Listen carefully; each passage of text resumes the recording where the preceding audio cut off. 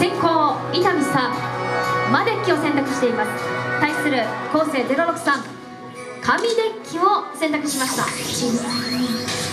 さあまずは進化吉野で迷うことなくダメージを与えていく。さあ対する高校昴生063まずは祝友を盤面に出しました。伊丹さんは先ほどのモルジャマンもかなり早いタイミングで出していたのでどこで出すかですね。そしてイベットも引けてるのが大きいですね。紙デッキ相手なので早めに設置したいところですね。さあ辺に特殊ダメージ技イベットを設置します。さあそして昴生さん辺に置きたい駒引けています。ここは次盛りでバフをかけていきます。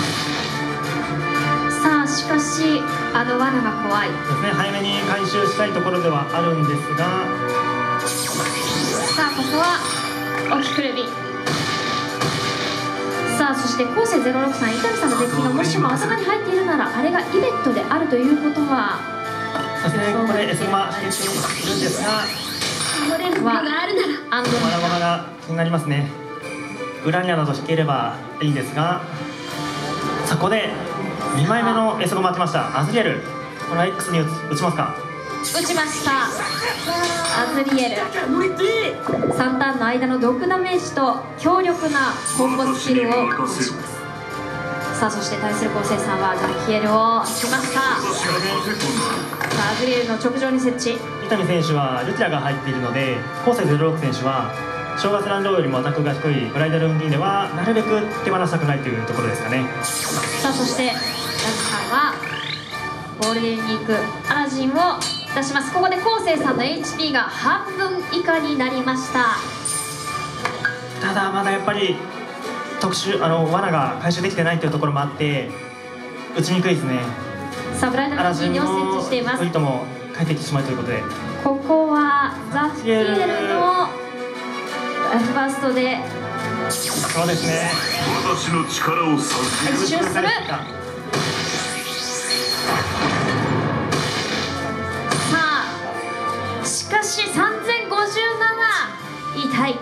血を見せさあアンドロメダのシールドが切れようとしています。しかしブライダルウンディーネの出番もかかっている私ここでルフィアウキヤブライダルウンディーネがいなくなった瞬間ですね。さあここで何引くかですね。おおここはガラム。刺繍難病を守るかのようにガラムが出駒に回ってきましたが。さあアズリエルのコンボも気になるのでアズリエル消したいは消したいんですが。私の力を授けよう。さあここはザフキエルのコンボを使い。さあこれで次ですね。ブライダルウンディーネがいるのであそこに強力な S ゴマをつなぐと一気にしかしモルジアが代償を受けてダメージはどうか